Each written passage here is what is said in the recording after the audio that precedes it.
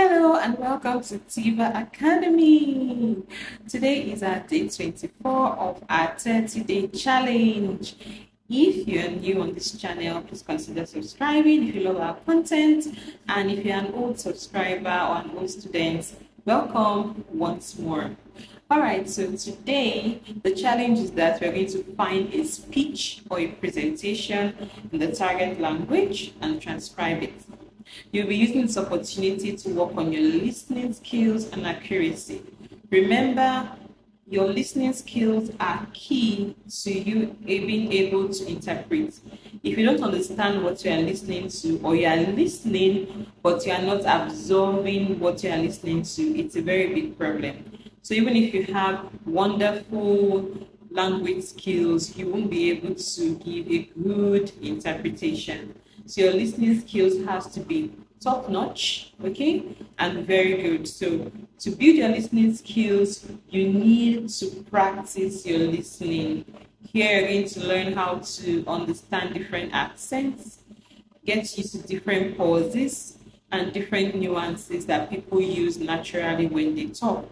You don't expect everybody to speak like you. You're supposed to adjust to what you are listening to. So with this particular challenge, it's going to help you. Okay, the speech could be one minute, two minutes, five minutes. The length doesn't matter. What matters is your level of consistency. So look for a speech in the target language. You could go on YouTube and search for a speech. Okay, and you can also go on the UN website, or you could go on um, any of the international news website like France 24, BBC, RFI.com. There are so many of them.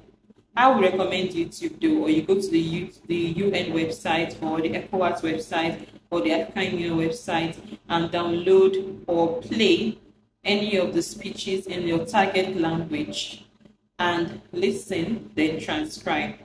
Transcribing it could mean you getting it out in a short uh, note to get what they are saying when you finish getting it out, you read it to yourself, okay, to see that you've gotten the right information and you try to produce what you've heard in your language A or even the target language. At this point, you are at the liberty of choosing any of the languages you want to present your speech. Okay, so that brings us to the end of this segment of this challenge. How has your experience been so far? Have you been doing very well? For our current students in the academy, we send your um, this this particular challenge and assignment on our student learning group for the corrections to be made and for all necessary information regarding the corrections and practice sessions to be done with you. If you wish to join our session, you're welcome. You can send a message on WhatsApp to 080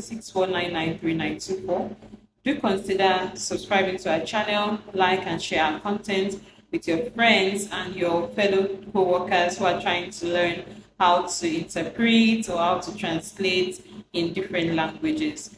Irrespective of the language that you are using as your source or target language, all the skills mentioned in our challenge are good for you. Doesn't matter what language. What matters is if you're able to implement the training content that we give to you. Okay, so thank you and enjoy your day.